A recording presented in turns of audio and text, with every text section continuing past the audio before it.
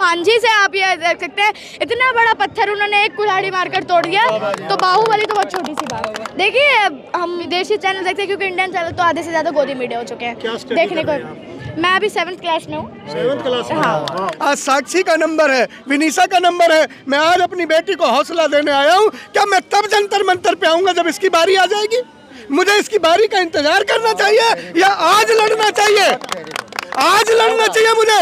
ये बेटियों की लड़ाई है। कैलेंडर में देवियाँ पूजने वाले हिंदुस्तान के लोगों कैलेंडर में आरती उतारने वाले हिंदुस्तान के लोगों आज ज़िंदा देवियाँ रो रही हैं। नमस्कार आप देख रहे थे जनता लाइव। मैं हूँ आपके साथ रवीना। अभी हमारे साथ संदीपनी मौजूद हैं। इतनी कम एज में ये आज पहलवानों को समर्थन देने आई है। ये सारी चीज़ें समझ रही हैं कि यहाँ पर कैसे चल रहा है। महिला पहलवान क्या आरोप लगा रही हैं? क्या चीज़ें जो बयानबाजी हो रही है? और एक पोस्टर हाथ में लेकर आई है जिस पर लिखा हुआ है दुर्गा काली लक्ष्मी बाई इंदिरा की बेटी हूँ मुझे कमज़ोर ना मानो। इस पर क्या कहना चाहेंगी संदीप? देखिए मैंने लिखा है दुर्गा काली लक्ष्मीबाई इंदिरा मैं बेटी हूँ कमज़ोर ना मान।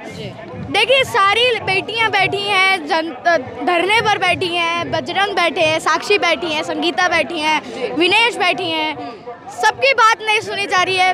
पाँच बड़े बड़े ओलंपियन बैठे हैं जो हमारे पदक जीत के लाते हैं, सोना देश के लिए लाते हैं, इतनी मेहनत करते हैं। दो साल मेहनत, चार साल, पूरी ज़िंदगी भर की मेहनत करके एक, दो ओलंपियन मेडल लेके आते हैं। और फिर भी उनकी बात नहीं सुनी जाती है। पूरे देश के लोग मिलकर पूरी देश की सैनिक मिलकर भी दूसरे देश की राजधानी में जाकर तिरंगा नहीं फहरा सकते राज, राष्ट्रगान नहीं चलवा सकते। हैं ये सिर्फ़ काम पहलवान ही कर सकता है। दूसरे देश में जाकर सबसे ऊपर अपना तिरंगा होता है। हमको भी अंदर से इतनी खुशी होती है कि सारे देश के झंडों से ऊपर सबसे ऊपर तिरंगा होता है और सिर्फ़ एक ही राष्ट्रगान चल रहा होता है जनगण हमारा चल रहा होता है। कितनी खुशी होती है। और आज वो पहलवान जो हमारा नाम ऊँचा कर देते हैं। हम छाती चौड़ी करके दूसरे देश में जाते हैं। भाई, हिंदुस्तानी आ रहे हैं, पहलवान आ रहे हैं। अच्छा लगता है कि जब हमारे देश के लोग सोना जीत के वहाँ पे भी हमारे एक अलग ही बात होती है। आज वो ही पहलवान आज सड़क पर बैठे कौन जिम्मेदार है? कौन बात कर रहा है कि फुटपाथ पे बैठे कौन जिम्मेदार है कि पहलवानों को फुटपाथ पे सोना पड़ रहा है फुटपाथ पे रहना पड़ रहा है या जंतर मंतर जैसी जगह पे रहना पड़ता है?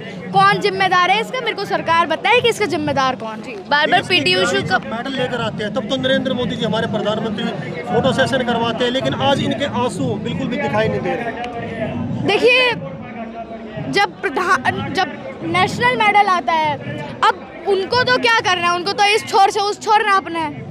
और वहीं पे जा, वहीं जाते हैं कभी कभार जहाँ पहले ही पहलवान मेडल जीत के आया होता है। और इज़्ज़त बढ़ जाती है। उनको तो पहलवान इज़्ज़त दे रहा है कि हाँ उस देश के प्रधानमंत्री हैं, जहाँ से वो ओलंपियन मेडल निकलते हैं, जहाँ से वो साक्षी निकलती हैं, जहाँ से बजरंग निकलते हैं, जहाँ से विनेश निकलती हैं, जहाँ से हमारी संगीता निकलती हैं, उस देश के प्रधानमंत्री हैं। तभी तो बहुत वो होता है। अब उनके पता नहीं क्या मन की मार करने पे तुले पड़े हैं सैनिकों की नहीं सुन रहे हैं किसानों की किसानों की नहीं सुन रहे हैं पहलवानों की नहीं सुन रहे हैं पता नहीं क्या है उनके जी में आ रहा है। लेकिन जैसे बयान आ रहे हैं पीटी उषा का बयान आया काफ़ी उस पर भी टिप्पणी हो रही है। उन्होंने बोला कि ऐसे देश की जो छवि है वो खराब हो रही है। जिस तरीके से पहलवान यहाँ देश की छवि तब खराब नहीं होती है जब किसी के साथ यौन शोषण होता है। देश की छवि तब खराब नहीं होती है जब अपनी पार्टी के लोग को बचाने के लिए सात दिन बाद एफआईआर होती है। तब देश की जो स्थिति खराब तब नहीं होती है देश की छवि खराब तब नहीं होती है जब पहलवान फुटपाथ पर सो रहा होता है ओलंपियन मेडल फुटपाथ पर सो रहा होता है। इससे छवि खराब नहीं होती है क्या?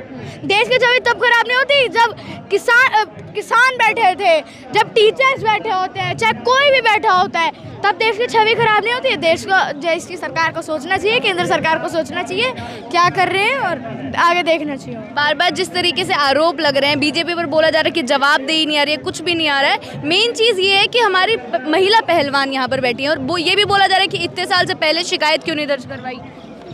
देखिए इतने साल के बाद शिकायत इसलिए दर्ज कराई है क्योंकि अब एक सपोर्ट मिला है, जनता से सपोर्ट मिला है। चार साल पहले बैठ के, भैया, कौन सपोर्ट, कहाँ का सपोर्ट आ रहा था? जनता जब साथ आई है हम आप कुछ सर्दियों में भी बैठे थे, जनता ने साथ दिया फिर बैठे हैं। तब हक की मांग थोड़ा ऐसे करके गुमराह करके हटा दिया था, तब कंपटीशन की तैयारी करने चले गए। आज फिर से बैठे हैं, फिर से साथ हैं। फिर से अब तो हक की लड़ाई कर कर ही जाएँगे इंसाफ मांग कर ही जाएँगे अब ऐसे। चार महीने हो गए। चार महीने पहले बैठे थे अब चार महीने बाद बैठे हैं और अब की बार अनिश्चितकालीन धरना है। उस बार यही बोला गया था कि सरकार पर जैसे आश्वासन दिया इन्होंने मान लिया तो क्या लग रहा है अभी भी ऐसी चीज़ें की जाएँगी? देखिए अब तो बताया ना मैंने इंसाफ लेकर ही रहेंगे अपना हक मांग कर ही रहेंगे। अब ऐसे काम नहीं अब ऐसे नहीं जाएँगे अब छोटी मोटी बातों से नहीं भटकने वाले। पहलवान है जानते हैं कब कौन सा दाव लगाना है सब जानते हैं। और सीधे सीधे आरोप लगाए जा रहे हैं। एक ही अखाड़ा एक ही परिवार के ये खिलाड़ी है। इसके ऊपर क्या कहना चाहिए देखिए हरियाणा को मेडल फैक्ट्री कहा जाता है। देश की मेडल फैक्ट्री हरियाणा है।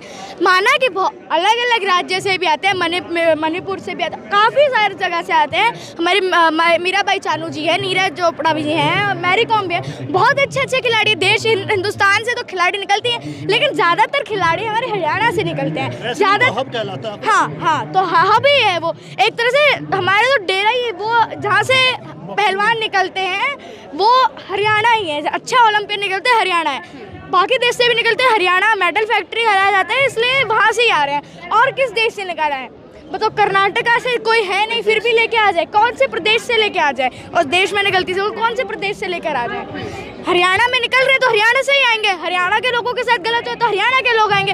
कौन से कश्मीर के लोग उठा के ले आए? उन्हें पता नहीं क्या हो रहा है उठा के थोड़ी ना।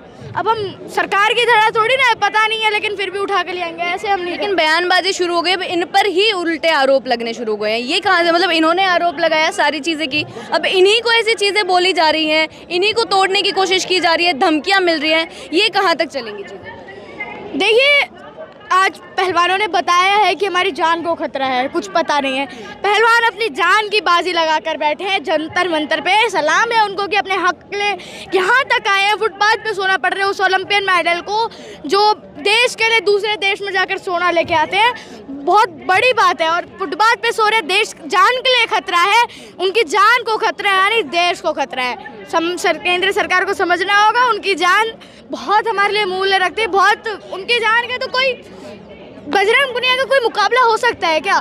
संगीता का कोई मुकाबला हो सकता है क्या? साक्षी का कोई मुकाबला है क्या? विनेश का कोई मुकाबला? कोई अभी उनके बराबर में नहीं आया जब ओलंपियन मेडल है तो अभी तक उनके दाव का कोई बराबर का नहीं है उनकी ताकत का कोई बराबर में नहीं है। जिस तरीके से के ऊपर कार्रवाई हो पाएगी आपको लगता है? देखिए धीरे धीरे देखिए बड़े से बड़े पत्थर पे भी अगर बार बार कुल्हाड़ी मांगोगे मांझी से आप ये देख सकते हैं इतना बड़ा पत्थर उन्होंने एक कुल्हाड़ी मारकर तोड़ दिया। तो बाहुबली तो बहुत छोटी सी बात बेटा आप क्या करते हैं? आपका आप इतनी छोटी सी उम्र में इतनी सब इतनी जानकारी आप कहाँ से लेके आते हैं? देखिए हम चैनल देखते हैं इंडिया विदेशी चैनल देखते हैं क्योंकि इंडियन चैनल तो आधे से ज़्यादा गोदी मीडिया हो चुके हैं। देखने को मैं अभी सेवन्थ क्लास में हूँ। क्लास में? हाँ। जिस तरीके से भावुक होते हुए पहलवान दिखे हैं उसने पूरी जो जनता है भारत की सबको झंझोड़ कर रखा है। हर कोई इसी चीज़ पर बोल रहा है कि इतना कमज़ोर होने की ज़रूरत नहीं। क्या लग रहा है कि जो भारत की जनता अगर पूरी सामने आएगी समर्थन देने तो फिर तो झुकना ही पड़ेगा ना कोई भी हो सामने। देखिए जनता पहलवानों के साथ है जैसे हमारी साक्षी जी रोई थी बहुत भावुक हो गई थी। हम लोगों के भी दिल में एक दिल हमारा भी पिघल गया था कि हम भी जाएँगे। मैं भी चार महीने पहले मैंने भी देखा था तब मैं भी आने का बहुत सोच रही थी। एग्ज़ाम्स थे उस टाइम हमारे लेकिन आज फिर से मेरे को मौका मिला है तो मैं आज आई हूँ। संगीता जी के साथ में बैठी थी बजरंग भैया के साथ में बैठी थी और प्रियंका जी के साथ बैठी थी। काफ़ी सारी चीज़ें मैं बातें भी की मैंने। कल प्रियंका गांधी जी आई थी बहुत सारा विपक्ष आ रहा है लेकिन बीजेपी से नहीं आ रहा है। बीजेपी आएगी भी नहीं। प्रियंका प्रियंका जी जैसे आई, वैसे बीजेपी आ भी नहीं पाएगी। न स्मृति ईरानी में इतनी हिम्मत भी नहीं है कि वो यहाँ पहलवानों के सामने खड़े हो जाए। आँख मिलाने की हिम्मत भी नहीं रही है। कहते ना, बहुत जैसे बेजत वाला काम कर देते तो आँख मिलाने की हिम्मत नहीं रहती है। दम भी नहीं है इतना कि पहलवानों के सामने आके खड़े हो जाएँ। जी, सर, आपसे जानना चाहेंगे, जिस तरीके से अभी जो चीज़ें हो रही हैं बार बार आरोप, प्रत्यारोप कब शुरू हो गए? पहले सिर्फ़ पहलवान आरोप लगा रहे थे, सारी चीज़ें बोली जा रही थी, अब उधर से भी आने लगी हैं चीज़ें।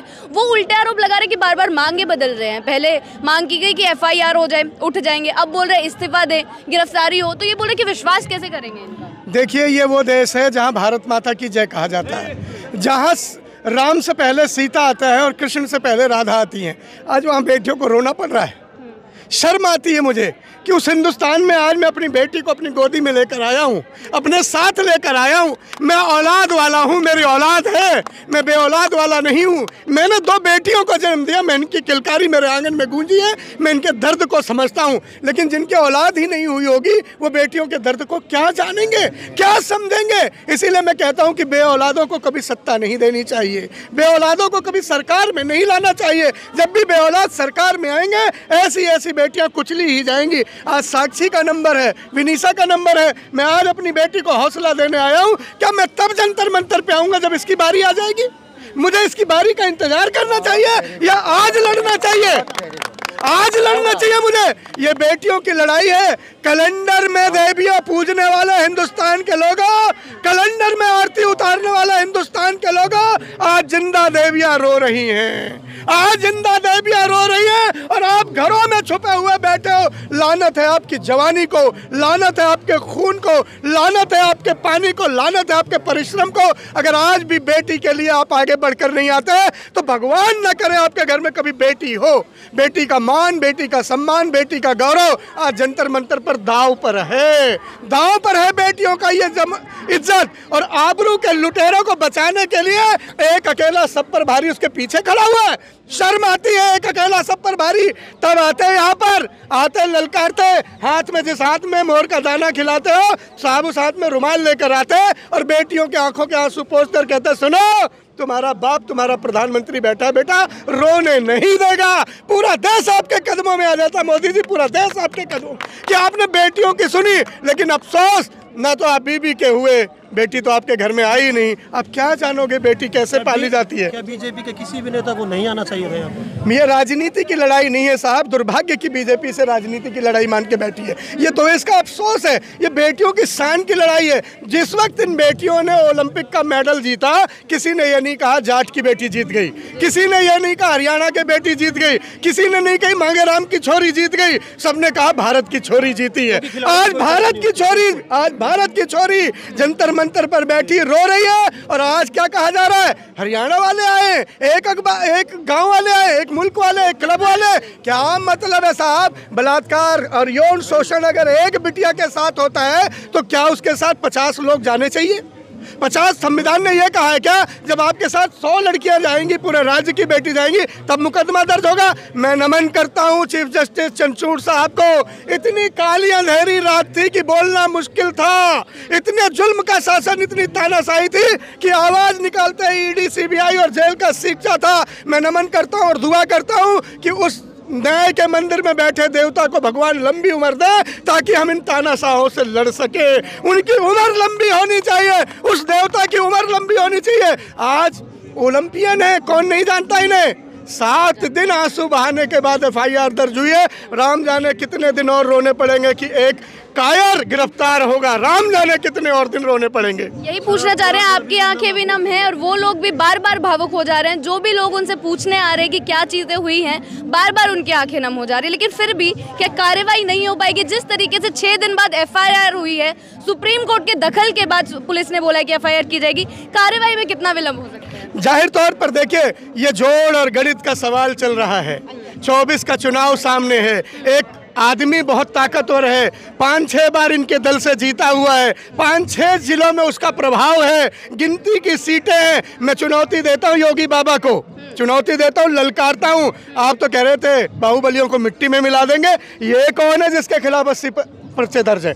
ये बाहुबली नहीं है, कौन है? ये कौन है ठाकुर साहब? ये कौन है? मैं सिंह साहब से पूछता हूँ, आपके अंदर अभी भी ठाकुरवाद ज़िंदा है क्या बाबा जी जो सिर्फ़ ठाकुरों पे कार्रवाई नहीं होती। सेंगर कौन था? हाथरस में जिन बेटियों, दलित बेटियों का बलात्कार हुआ, उनका बलात्कार करने वाला कौन था? वो भी ठाकुर थे, ये भी ठाकुर है, सेंगर भी ठाकुर था। ये क्या चल रहा है? कैसी ठकुराई चल रही है? गोली चलेगी, गाड़ी पलटेगी तो कुछ चुने हुए लोगों की। लेकिन ठकुराई जिंदाबाद, क्योंकि सैया भय कोतवाल अब डर काहे का? क्या चल रहा है हिंदुस्तान में? मैं पूछता योगी जी, जबकि बात बात पे और बिना बात भी आप कई बार बुलडोजर चला देते हो। अब तो आपका बुलडोजर आग भी उगलने लगा है। ज़िंदा जल जाती है माँ बेटी, आपके बुलडोजर के कहर से। जाएँगे आप ब्रजभूषण का घर तोड़ने?